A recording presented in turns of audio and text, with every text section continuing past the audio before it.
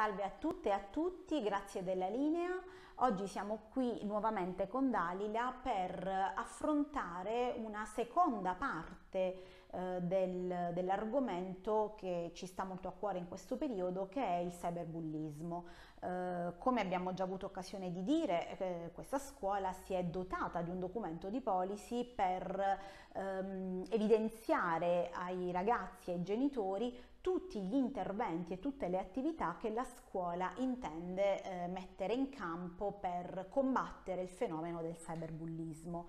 Oggi in particolare con Daglia vogliamo eh, approfondire l'aspetto legato alle caratteristiche del eh, bullo. Proviamo ad entrare un po' di più dentro la psicologia del bullo.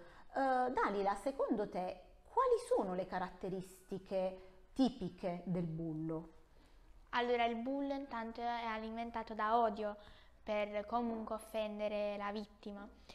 Poi, ehm, ad esempio, quando si tratta del cyberbullismo, essendo che tramite la tecnologia si offende la vittima, eh, il bullo poi non vede la reazione eh, agli insulti che ha la vittima.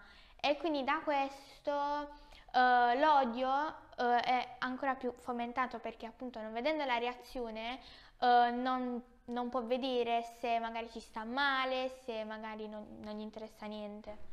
Oppure un'altra cosa è che non vediamo mai il bullo da solo, ma lo vediamo comunque seguito da un gruppo di amici o comunque da persone che lo, lo aiutano a fare gli atti di odio verso la vittima. Mm. Hai detto due cose molto molto importanti. Una che appunto il sentimento che muove il bullo è eh, l'odio e il disprezzo nei confronti della vittima.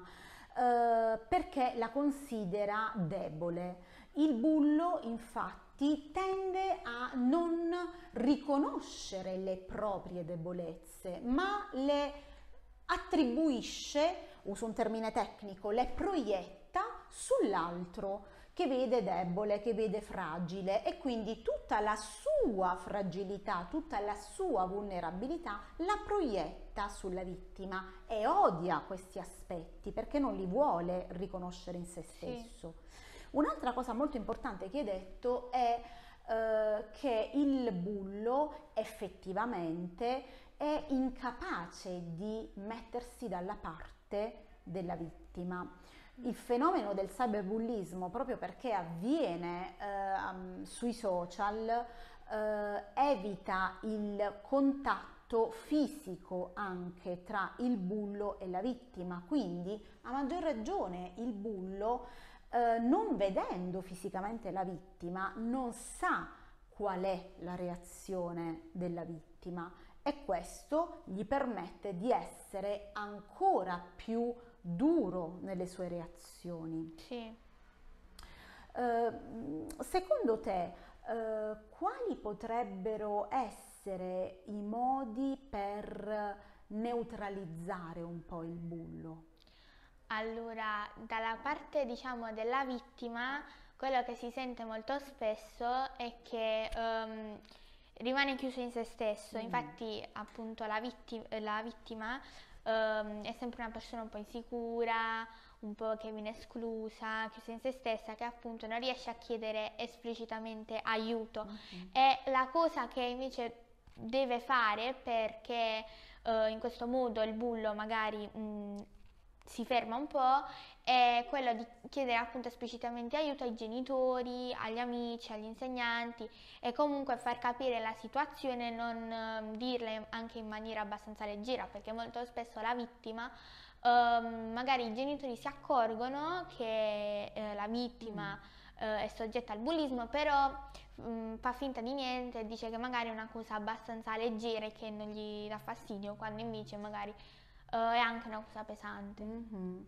Questo è un aspetto molto importante perché spesso ehm, le vittime tendono a minimizzare eh, il dolore, no? la tristezza che provano nell'essere vittime di un bullo o di un cyberbullo. Quindi è importante che ciascuno dia un valore e lo faccia capire all'altra persona, soprattutto agli adulti, che quello che sta succedendo è qualcosa che sta nuocendo, che sta facendo del male alla vittima. Quindi questo è un messaggio fondamentale per chi è vittima di bullismo e cyberbullismo di eh, chiedere aiuto, di chiedere aiuto agli adulti in particolare, agli insegnanti, ai genitori e chiedere aiuto anche agli amici perché il gruppo degli amici è eh, fondamentale per disincentivare il bullo dal compiere le sue azioni negative per farlo essere meno forte, meno potente.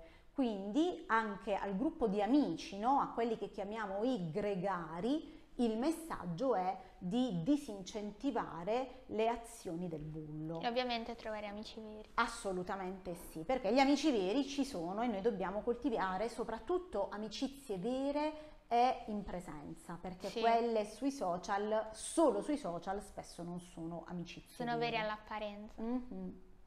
Bene Dalila, eh, io ti ringrazio Grazie e restituiamo la linea.